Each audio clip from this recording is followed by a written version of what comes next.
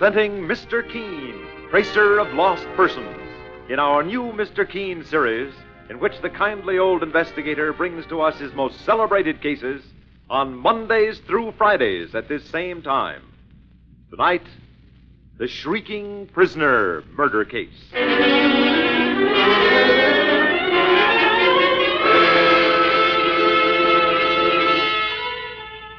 The scene opens at night in a large old fashioned house in a lonely section of New York City.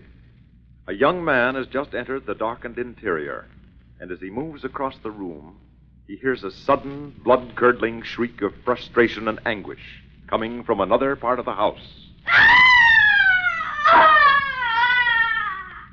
The young man stands frozen for a moment. Then, as he quickly moves to a door and opens it, a shot rings out.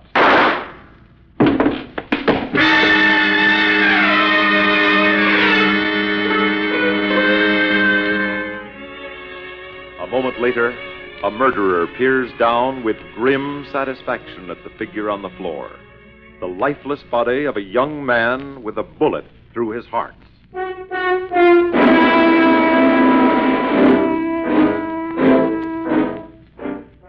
And now, Mr. Keen, the famous investigator, and his partner Mike Clancy are looking into the murder. The scene of the crime is a home owned by two weird sisters, Martha and Amy Carson. And the murdered man is their niece's young husband. Why has he been murdered? Mr. Keen is first attempting to find the source of the frightful shrieking which has been heard in the house. But he and Mike are being blocked by Martha Carson and Luther Prague, her burly handyman, who has entered the room with an axe in his hand. As Mr. Keen says, Martha Carson, I'm here with my partner, Mike Clancy, to investigate the murder of young Donald Travers. I suggest you tell your handyman to let us go upstairs to find out who's shrieking up there. No, you can't go up there. If you go up, I'll chop you both to pieces. My partner, Mike Clancy, happens to be armed himself, Luther Prague. And my gun can speak a lot faster than his axe, boss. I told you to get out of my house, Mr. Keen. We're going to find out who's upstairs, Miss Martha, shrieking like a trapped animal. You try to prevent us, you'll only put yourself further under suspicion for the murder that occurred in this house last night. Luther, don't let Mr. Keen go upstairs. Get out of here, both of you. I'll chop the two of you to pieces with this axe if you try to go upstairs. Look out, boss. He means it. Careful, Mike. Miss Martha, call this man off, or there'll be trouble. No, you have no right to search this house. Are you getting out, or do I chop you both to pieces with this axe? Put that axe down, Luther. And be quick about it. Well, Miss Martha. Put it down, or I knock it out of your hand. Why, I'll tear you apart, you. Luther! Oh. Well, he's not hurt bad. I just had to quiet him down a little. Well, Miss Martha, are you going to take us upstairs now? Or do we find out by ourselves who is shrieking up there? And what it has to do with the murder that occurred here in your house last night? I. I'll take you upstairs, Mr. Keen. Come with me.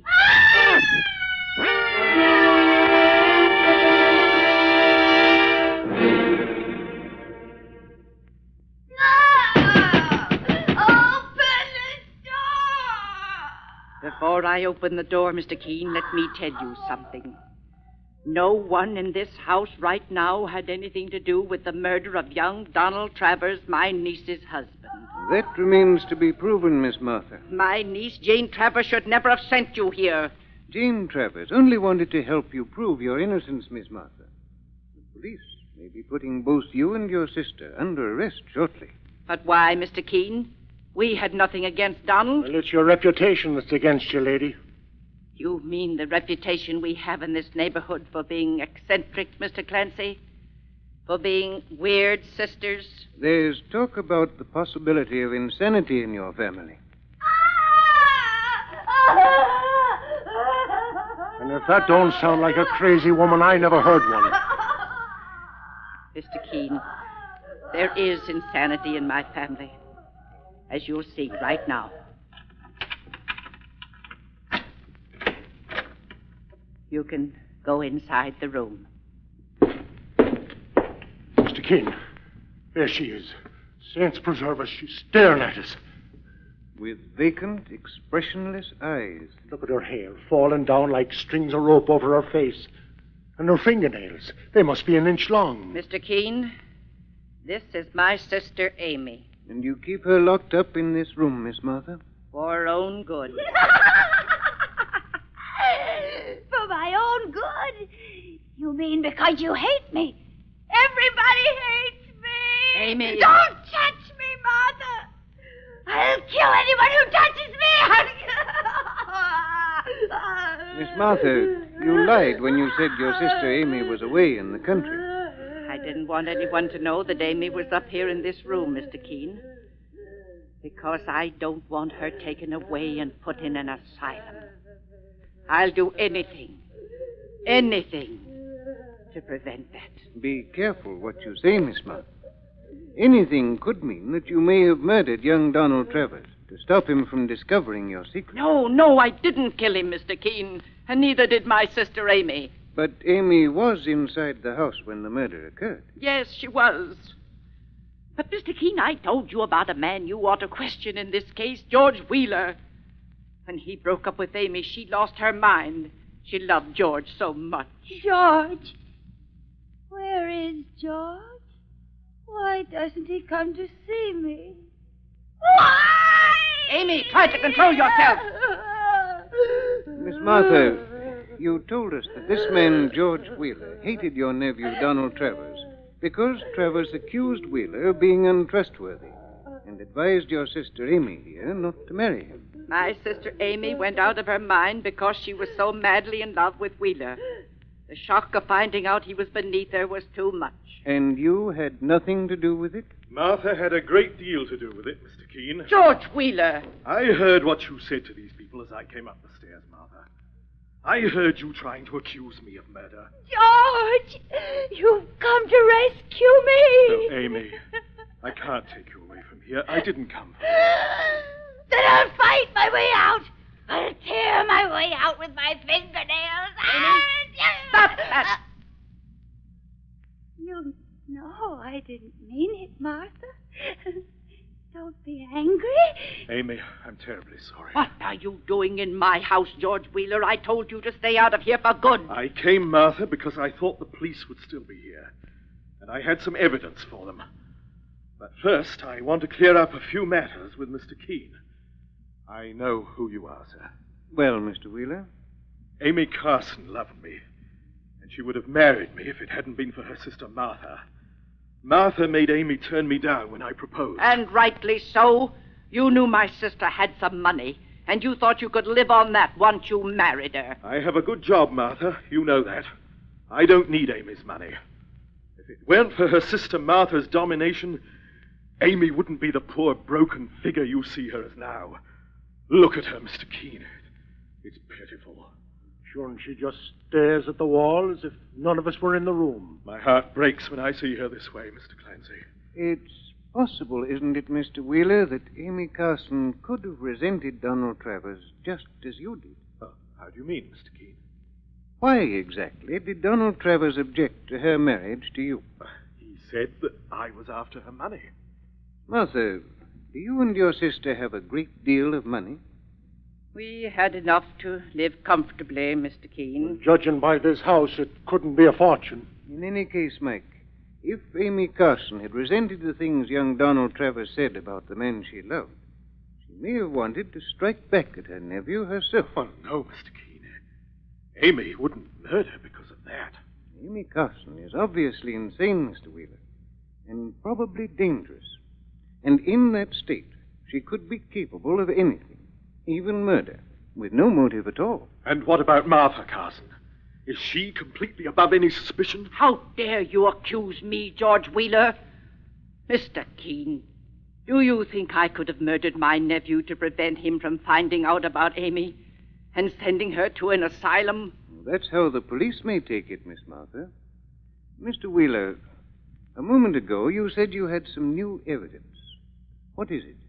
This gold watch, Mr. Keen. Well, let's see it, mister. Well, I found it this morning, and I recognized it as Donald Travers' watch. It belonged to the murder victim? Yes, Mr. Keen, absolutely. I'd seen Travers wear it several times. And where did you find it? In Luther Prague's room. Boss, Luther Prague must have stolen this watch from the murdered man. If he did, Mike, we'll be dealing with another suspect in this case. Mr. Wheeler, was Luther Prague downstairs when you came into the house? No, Mr. Keen. Well, he must have come to and left right after we came up here, boss. Yes, Mike. Now, where does he live, Mr. Wheeler? Uh, he can usually be found in an old abandoned shack. It's in an empty lot a short distance from here. I wonder if anything else was missing from the victim's body that Luther Prague may have taken. I searched Luther's room carefully, but that was all I could find. Mr. Well, Keen. it's all beginning to add up, boss. Looks like that big muscle man, Luther Prague, is the next fellow we want to see. Yes, Mike. Martha, before I leave, I want to know what you intend doing about your sister Amy here. She's insane. She may be dangerous. I. I'll have her examined by a doctor, Mr. Keen. And if he tells me to send her away to a mental institution, I will. Mr. Wheeler, Yes, Mr. Keen. would you point out Luther Prague's shack to us now? I will, Mr. Keen. And then I must ask you to remain close by yourself for further questioning. In other words, I'm still a suspect, too. Frankly, yes. Very well, Mr. Keen. I'll do just as you say. All right, Mike.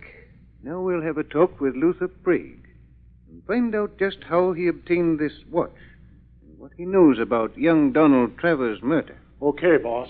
I'll be talking to you later, Miss Martha. All right, Mr. Keen.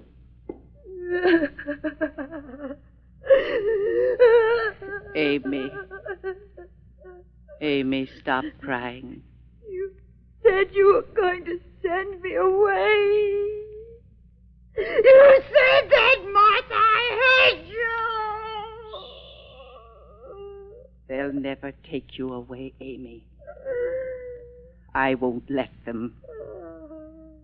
I'll kill anyone who tries to take you I swear it.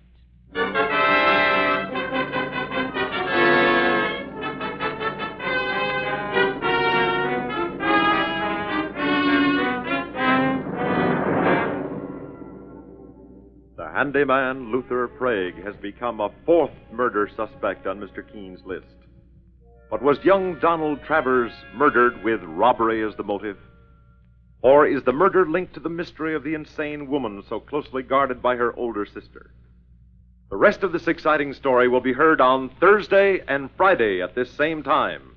Be sure to listen tomorrow to Mr. Keen, Tracer of Lost Persons.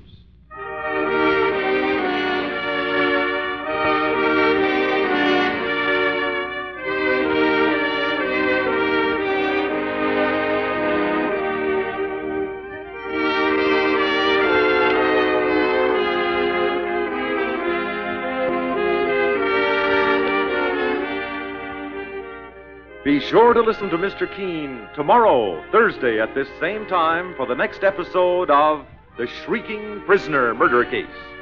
And don't miss the regular half hour Mr. Keen program, heard every Friday night over most of these stations.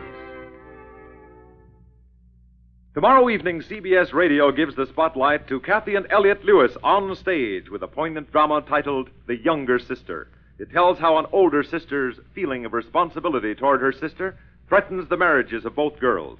Don't miss Cathy and Elliott Lewis on stage tomorrow night on most of these same stations. Also, tomorrow evening at the Star's address, enjoy the laughs when you meet Millie on her latest escapade. Millie Bronson, played by Elena Verdugo, and her addle headed mama get into all kinds of troubles up in a mountain resort. Yes, meet Millie tomorrow night, and you'll laugh. Your announcer, Stuart Metz.